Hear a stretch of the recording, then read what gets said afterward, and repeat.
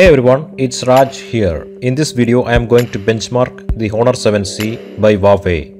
Before that, let's check some of the hardware details using the CPU-Z app.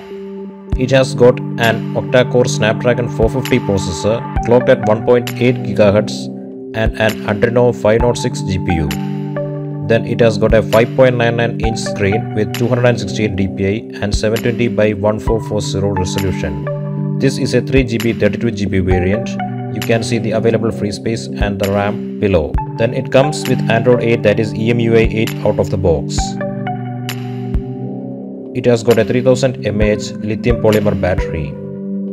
Here are some thermal readings. Here is some sensor readings. Okay, you can find the link of the CPU-Z app in the video description. Now let's benchmark the Honor 7C going to use Antutu and Geekbench 4. Let's start with Antutu. Going to test it. I will be skipping through the various tests.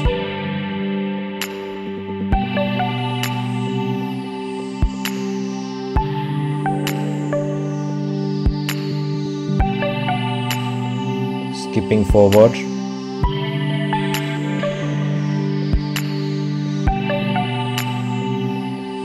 Skipping forward.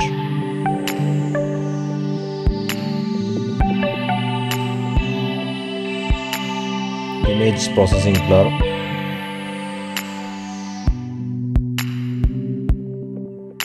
Skipping forward. Okay the test is almost complete.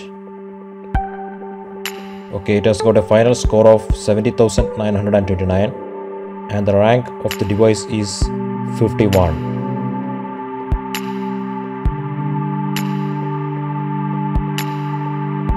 Okay, now let's benchmark the Honor 7C using the Geekbench 4. Going to run the CPU benchmark.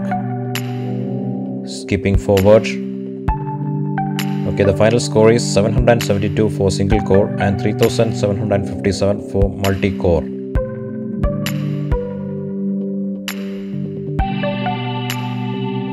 Please pause the video to see the details.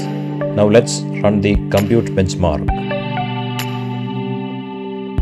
The final score is 2700. You can also see the benchmark results in the app history. I was also able to play the PUBG mobile game at the low settings and the device didn't heat up much during the gameplay. So that was about the benchmark of Honor 7C by Huawei. Hope the video was helpful. Peace.